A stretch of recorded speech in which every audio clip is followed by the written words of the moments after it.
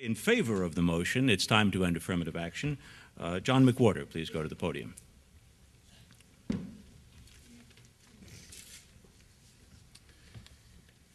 I think that when we discuss um, racial preferences, and I am going to largely restrict what I'm saying to racial preferences in universities, although many of these things also apply to affirmative action as handled elsewhere, we often are under the impression that what we're talking about is something as simple as a tie breaking process, a thumb on the scale. The idea being that if qualifications are equal or more or less equal between a black and a white candidate, that one gives the nod to the black person. I personally would find nothing problematic with that policy. I don't think most people would. And to the extent that it is generally implied, generally via omission that that's what we're talking about when we talk about racial preferences and that we're not talking about qualifications or test scores or things that we don't want to talk about, then it's understandable that there reigns a sense that to be opposed to these racial preference policies means that a person must be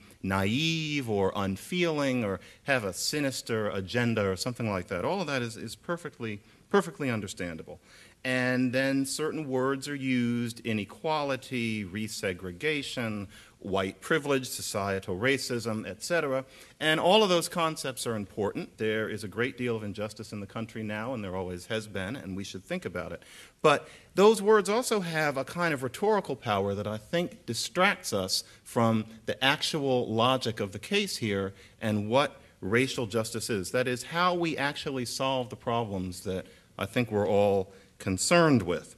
And from what I've seen over my years in discussing this question, there are certain basic facts about how racial preferences are played out that we're not often told. I don't think that people who think differently than me are willfully ignoring these things. I think these things just don't get out there very much, but they are absolutely crucial to evaluating this particular case. And in my remaining seven minutes and about 13 seconds, I just want to give you a few of those things. For one thing, affirmative action, racial preferences, as we're talking about, is not just a tiebreaker. If that's really all this debate had been about, I never would have joined it. There are all sorts of things. In 1991, in terms of all of the students who were admitted to selective law schools, um, there were 420 black ones, 24 were admitted according to what the qualifications were considered to be appropriate for for white and Asian students. All the rest of them, just based on the numbers, wouldn't have gotten in. I respect what Tim Wise has said. We have very different data in terms of the qualifications. If it were true that qualifications were the same, this would be a rather vacuous and petty debate. But the fact is that, according to anything that I know, they're not. For example, one argument that we might hear before we leave tonight is that SATs are meaningless.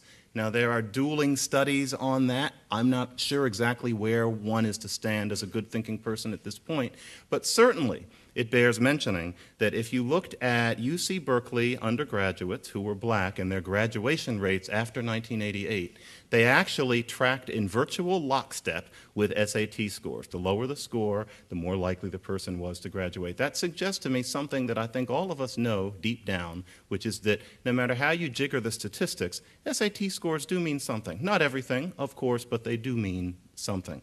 Or, for example, Richard Sander has shown that um, with um, black students admitted to 163 law schools, that because so very many of them were admitted not according to the qualifications that they submitted, but out of a sense of a commitment to diversity and lowering standards, that over half of them were in the bottom 10% of their class, and that wasn't only in the first year, and that there was a truly alarming rate of failing the bar exam. Now, these are all difficult issues, but things like this, and needless to say, I could go on for a very long time, but I've only got eight minutes. They have to be brought into a debate like this. They cannot be ignored, they cannot be trivialized. These things are real. Also, to eliminate racial preferences at selective universities does not deny black people an education at UC San Diego before the ban on racial preferences out in California, exactly one out of 3,268 freshmen who were black were making honors.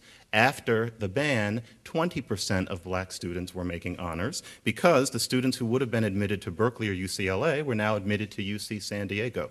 I think that was a good thing. It certainly wasn't a bad thing, and it's something that needs to be talked about. Let's talk a little bit about diversity because I think that's going to come up. For one thing, I remember being in college, and this is purely anecdotal, but the idea of someone calling on me in class to talk about you know my take on the black experience or what the black perspective on things was was something that made me sweat bullets. And I've heard this from countless black undergraduates many of whom tell me when I'm doing a book tour that to them that's evidence that there's racism at universities that they're expected to be diverse representatives. So we can talk about diversity but how does it actually feel to be a diverse person? More to the point it's often said that diversity has been proven to make for a better quality education.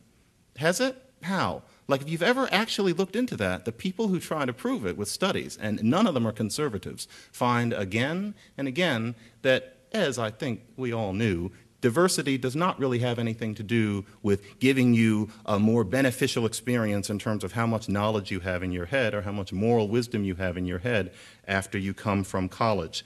There was a poll of University of Michigan minority um, law school grads from 1970 to 1996. For them, being called on as a diverse person in class was at the very bottom of what they valued most about their experience, as was the diversity. What they most valued in their experience was how smart teachers and their fellow students were. Remember, this is minority students. Or J. Mitchell Chang showed that in terms of diversity in your undergraduate experience, it did mean that you talked about race more on campus, but it didn't mean that you had more friends of another race, and it didn't improve your GPA, and it didn't improve how you felt about going to college. Stephen Cole and Elinor Barber have shown that when black students are placed in schools where they actually would have been more appropriately placed in terms of qualifications, and qualifications do matter, into schools like these, then what happened is that they made lower grades which discouraged them from going to get PhDs. This was a study done by good liberal people. They did not expect it. But that means that we have fewer black academics because of these policies. Now, based on the things that I've mentioned, One. clearly they belong at the table. I do want to say one thing.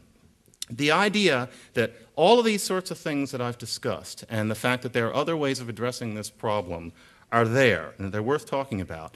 The notion that anybody would say that a legacy student is something that black students should be proud to compare themselves to, or that a legacy student is something that is okay. I, I, I don't get it. I met legacy students when I was in school. It was not a pretty picture. I certainly do not agree with these legacy policies. However, because I'm black, I'm talking about this kind of policy as it is applied to people of my race because I think that it hurts them. I'm not going to make some hoary argument about the Constitution or something like that. I don't think that it helps black students to be the best that they can be.